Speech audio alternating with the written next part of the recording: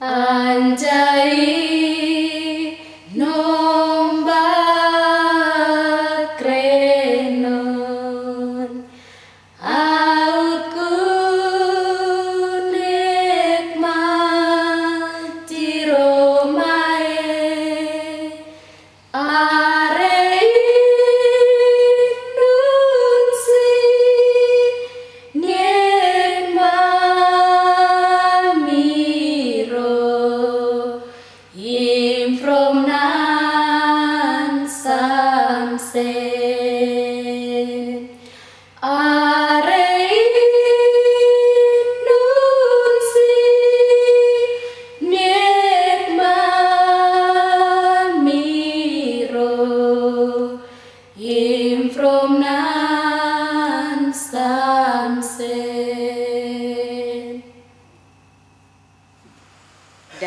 Daerah saya Arix, marga saya Arix, marga Kebar, marga Arumi, marga Manimbu, marga Wasabiti, marga Inam, marga Amawi.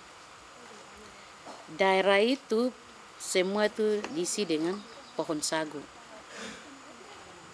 Kebanyakan orang dari kota itu mereka dengan mobil langsung sampai di tempat perusahaan jagung itu dulu tuh hanya daun sagu yang mereka langsung lihat dan bersama dengan alang-alang. Tapi sekarang itu hanya tanaman jagung. Jadi dari moyang sampai tete itu yang di sini.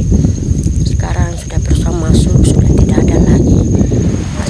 Perusahaan ini pertama itu orang datang sama-sama dengan Kapolsek Kebar yang lama. Dia bawa mereka, mereka datang tom buka rapat di kepala kampung. Sudah buka rapat, kita semua tidak setuju.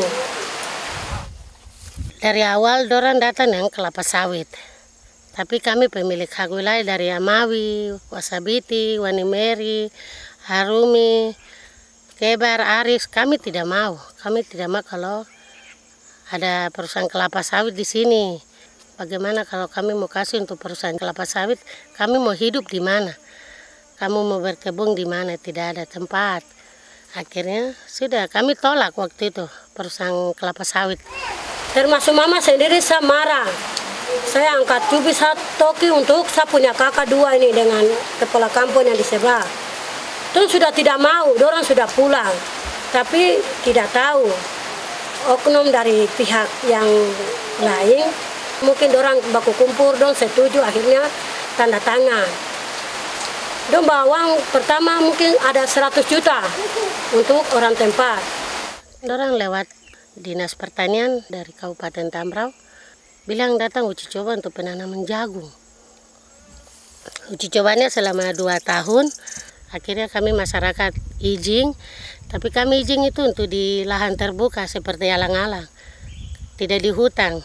Ternyata dari perusahaan mereka gusur sampai ke hutan. Dan waktu itu orang bongkar hutan, kami sementara ada sibuk di sana dan Natal kami tidak tahu. Orang sudah bongkar hutan, kami marah. Sudah kaget begini, ada kakak saya yang sempat lihat, sudah dia sampaikan "Nah, kita ke sana berkelahi. Kita berkelahi dorang, akhirnya dorang stop. Kami pikir dorang stop untuk tidak gusur hutan lagi. Ternyata dorang gusur lagi. Sepertinya hutan itu dorang punya. Akhirnya dorang bongkar dari lokasi Wasabiti sampai ke Arumi sini. Sampai di tengah-tengah itu, itu hutan besar. Di dalamnya ada kayu besi, lansat, matoa, ada masyarakat bu jangka panjang, coklat, durian yang di situ. Dorang gusur habis.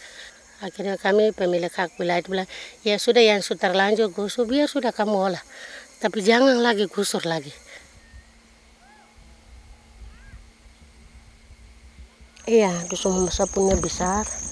Dari sana sudah ini cuma lang-alang, cuma utangnya di gunung, terus ini lang-alang. Jadi yang pertama dong datang dong bilang uji coba saja di alang-alang. Ternyata dong subuka di sini, dong dua tahun. Tapi tidak sampai dua tahun dong tidak ini pulang juga sampai sekarang langsung dong kusuk ke utang juga semua. Jadi utang ini dengan apa pohon sago, lansat, kayu besi, batuan di sini tuh habis semua. Jadi yang hutan ini sudah dong kerja habis. Mama ini tapi naga. Ah, si siapa itu? Jadi dulu orang gusur hutan di sebelah sini. Sudah habis, sudah orang buka jalan ini. Waktu itu orang bikin jalan saja. Dari perusahaan izin buat jalan untuk kerja di lokasi kebar.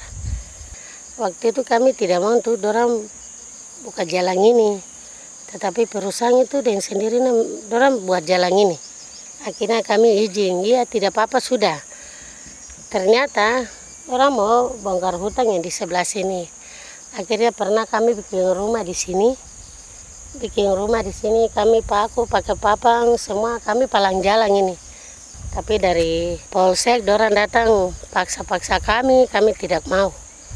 Akhirnya kami bilang ke Bapak Kapolsek, Bapak, kami bisa buka palang, tapi dengan catatan Bapak jamin.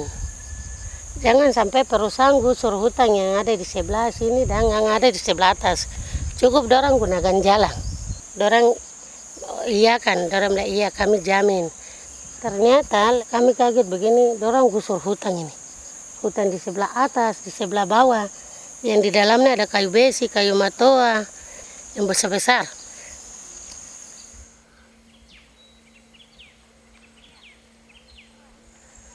Ini dulu di sini hutan.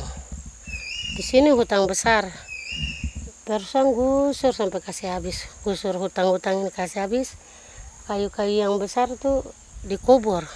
Seperti matoa, kayu besi, dorang gali alat berat ini, eksa gali tanah dan dorang kuburakan. Ini dia sisa-sisanya ini. Ini yang bagian pohonnya ini yang tinggal sedangkan yang batang-batang itu sudah dikubur habis. Dorang kubur setelah kami pemilik hak wilayah tidak tahu, tidak lihat, dorang gali kembali dan dorang olahkan. Dorang sensor. Sekarang perusahaan itu bongkar sampai lewat dari batas yang dong punya hak itu dong sudah rugi. Akhirnya dong kembali dong maunya uh, kita kompak untuk harus perusahaan cabut dari aliar kita yang ada. Karena kita semua yang ada di sini tempuh hidupnya memang ada di situ semua.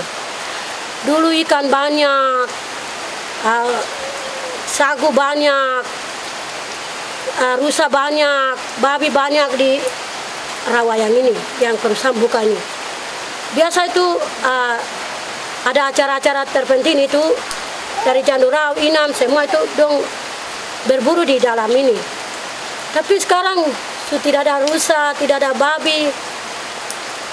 Sekarang ini yang terjadi itu kita yang punya kampung dekat dekat dengan perusahaan itu babi mati habis.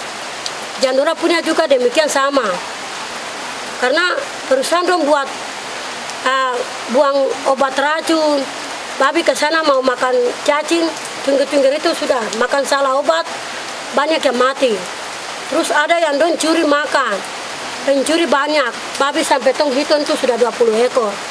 Kemarin saja mama tong baru satu minggu ini saya punya yang bunting dia semua beranak bulan ini. Sampai saat ini sutra datang. Untuk teman-teman karyawan dong dia dong babi sudah ada mati busuk di dalam sana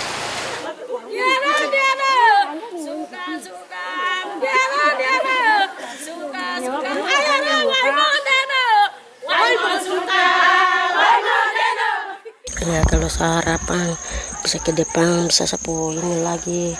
Tidak maksudnya tidak terjadi lagi begini.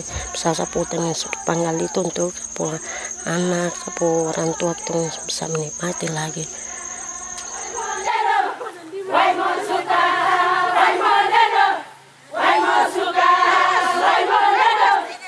Masyarakat adat atau perempuan pur. Pursuor selembah kebak kami perempuan Pur, Lembah Kebar, Kabupaten Tambra, Provinsi Papua Barat, sebagai pemilik sah Lembah Kebar yang diwariskan dari turun temurun sejak dahulu.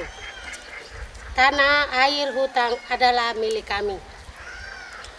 Kami perempuan Pur merasa kehilangan tidak ada harapan harapan. Ketiga hutang sebagai tempat berkebun, mencari sayur, berburu, dan lain-lain sudah hilang. Tanah dan hutang adalah harta kami yang tidak ada taranya. Tanpa perusahaan kami bisa hidup. Tetapi kami tidak bisa hidup tanpa tanah dan hutang. Yang adalah mama kami.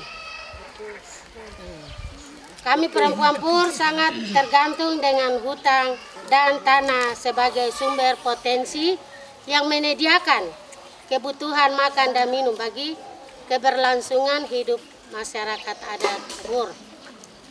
Kami perempuan Pur berharap pemerintah hadir untuk melindungi hak dan milik kami. Bukan sebaliknya, pemerintah menyerahkan hak dan milik kami kepada perusahaan. Tanpa pertimbangkan hubungan kami dengan hutang dan tanah kami. Kami perempuan Pursor menuntut pemerintah Kabupaten Tambrau mereboisasi kembali hutang dan lingkungan yang telah dirusak oleh perusahaan BAPP. Ada